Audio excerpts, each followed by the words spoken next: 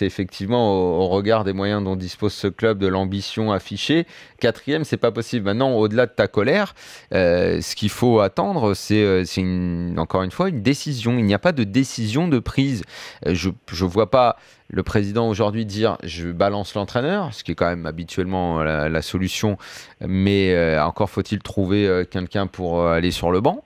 C'est pas gagné euh, en, en- en moitié de saison comme ça de, de trouver quelqu'un. Mais le problème, c'est que même à la fin de la saison, t'en vois toi des, des disponibles, des grands? Le problème, c'est que le PSG, quand ils sont arrivés avec leur tu perds du temps. Parce que là, tu Bah, pourrais sûr, déjà préparer la sûr. suite avec un coach qui travaille Non, mais sur si la tu arrives saison à trouver un nom, à la limite, fais-le tout de suite.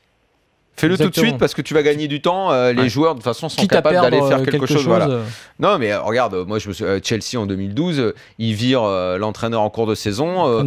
ça, a pratiquement, ça a pratiquement été de l'autogestion derrière avec Di Matteo. Bon, bah, on se souvient de, on se souvient de ce qu'ils ont fait.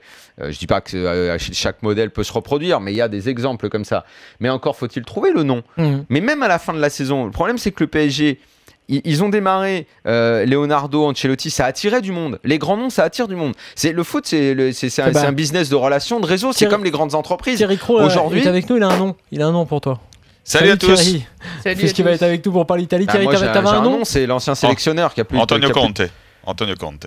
Bah oui, mais Conte, euh, il, il paraît qu'il s'est un peu réconcilié avec la Fédé, puis il va pas lâcher la Fédé en cours de route, euh, Thierry. Bah, on, en, on en reparlera cet mais été. je, je sais, j'ai entendu comme toi, c'est fort possible, mais euh, Antonio Conte. à la fin de la saison. Euh, mais même avant, avant la fin de la saison. Ah. Enfin, en ce qui concerne l'équipe d'Italie. Ensuite, la- avec la conséquence qu'ils prennent un grand club euh, l'été prochain.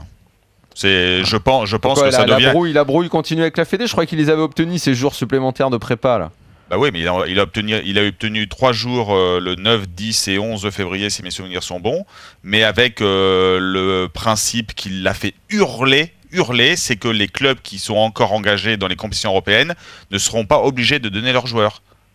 Ouais, Grosso donc- modo, donc, en fait, oui, il il pourrait- change pas grosso modo, grand-chose. ça donc, ne en sert- fait, il pourrait voilà. craquer, lâcher Mm. ça, et s'il y a une possibilité, il vient. quoi. Voilà. Donc voilà. peut-être Il, Antonio il en peut, euh, Daniel, il en Mm. peut plus. Il en peut plus Oui, mais avec l'équipe chaque fois que nationale. j'entends des trucs, effectivement, Il en peut plus. C'est ce qui ressort. ouais.